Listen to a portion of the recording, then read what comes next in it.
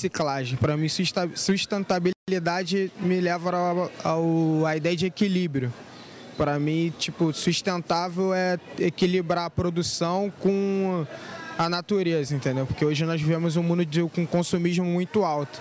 E sustentável, para mim, é manter esse consumismo, porque nós dependemos de, de N coisas, como é, para viver, mas também não degradar o ambiente, porque nós, também nós precisamos dele para continuar vivendo.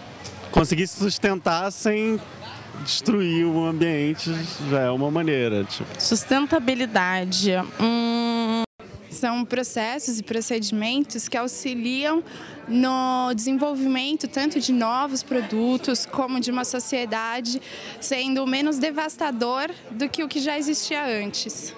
Sustentabilidade, eu acredito que seja você é, realizar processos, trabalhos, é, toda a, a, a, a, vida que a gente tem hoje em dia pensando nas futuras gerações, em manter o planeta vivo para as futuras gerações. Que é uma questão de que você tem que, é, no, no, no mundo de hoje, você equilibrar as coisas que são poluentes com as não poluentes, para que você tenha ao menos um, um equilíbrio em todo o, o, mundo, né? Depende. Você está falando sobre sustentabilidade ecológica de construção, que tipo, até onde eu sei, sustentabilidade é quando você pode, sei lá, pelo menos do ponto da construção, é você construir alguma coisa que seja ecologicamente correta, assim.